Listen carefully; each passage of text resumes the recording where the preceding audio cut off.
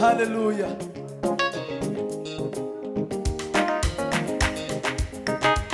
Tu fini rimane a questo, hallelujah.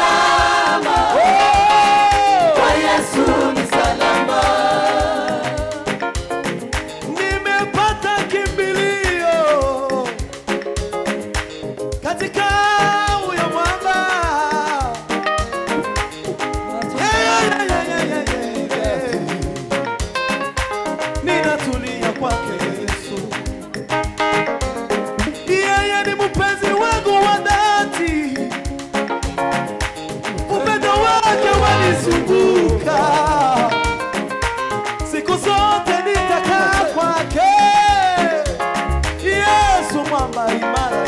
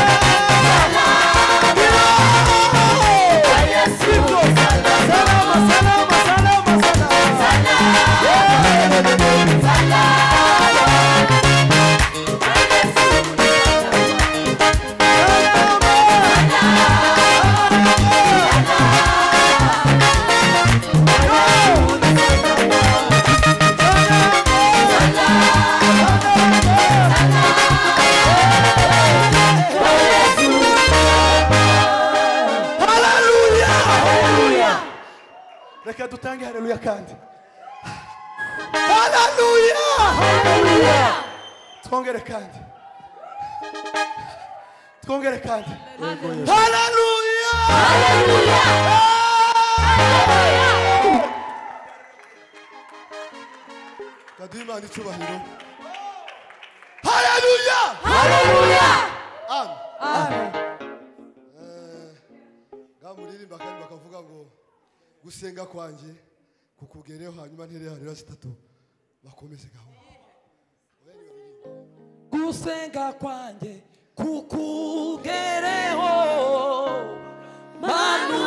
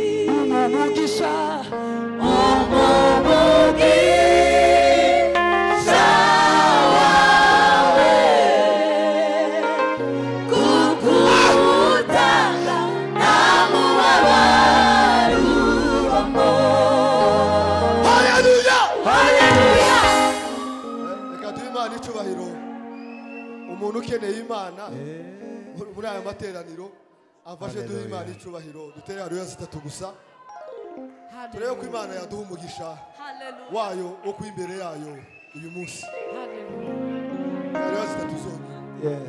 Haleluya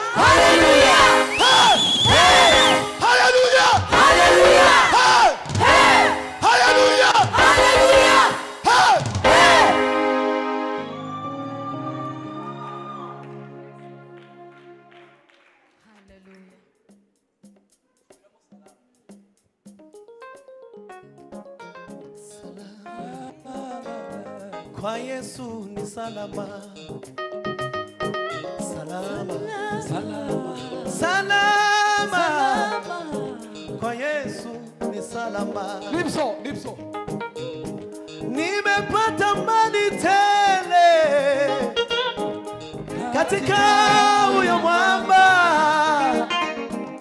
hata dunia itingizike. Nimetulia kwake Yesu, nimepata amani tele. Katika huyo mwamba, hata dunia itingizike. Ninatulia kwake Yesu.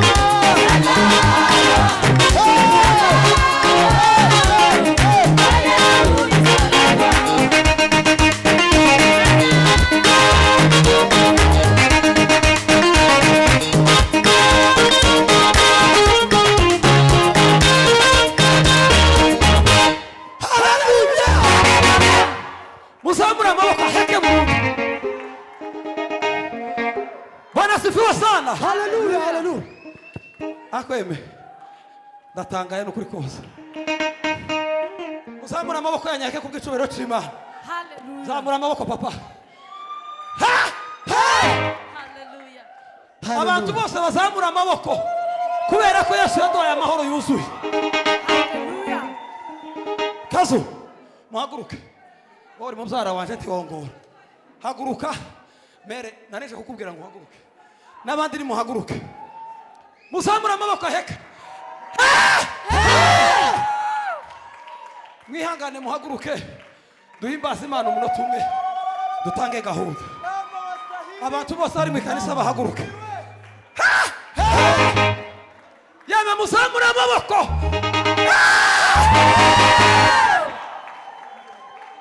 Mwongere muzamure rimwe. Mufate udutambaro twanyu dusimbuke nanone. Shira musubiza muse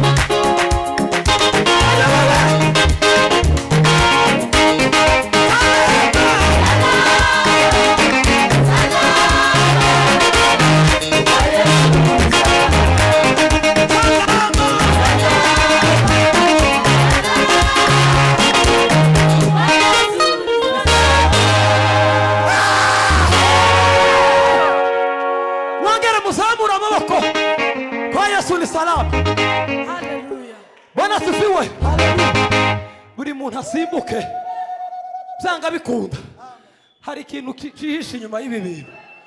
Bwana asifiwe sana. Subizamo twese dusimbuke simbuke simbuke simbuka simbuka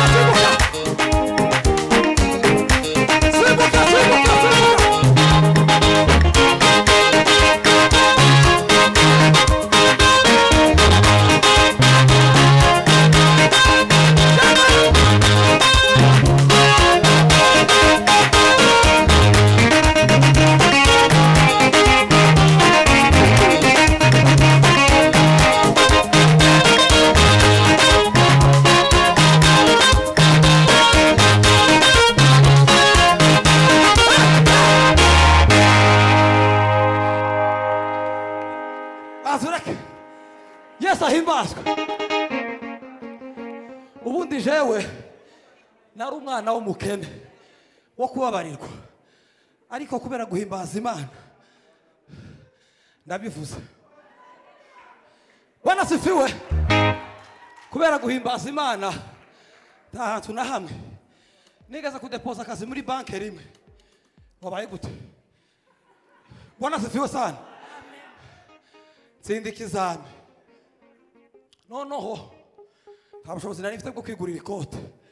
Hari umugabo umwe ngoga yagiye sinzandagiye hari umugabo biganye imushantu nize muri segonderi yemwe yarandutaga yarandutaga mu myaka bihagije.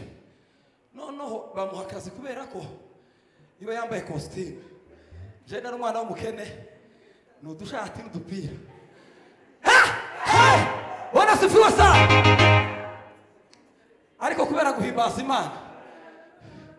Yesu aremera aravuga ngo sha tuzigera udepoza ushaka akazi? Ufite amakuru. Akazi kazoza kagushaka mfite amakuru.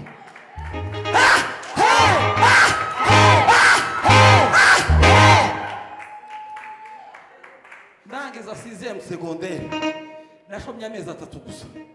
Kandi nabwo yari ayo gutegereza ko diporome ziza. Kuva ubwo ubwo si ubushomeri. Yesu agenda antegurira ameza mu maso y'abahisha banje none. Noreka gusimbuka bino. Aribyo byankamiye ubu nyine ndi umugabo.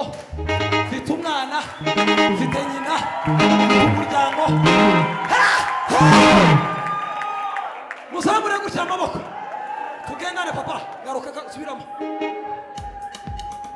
Itondeho gake. Dusimbuke. Kubera ko bino birakora salama.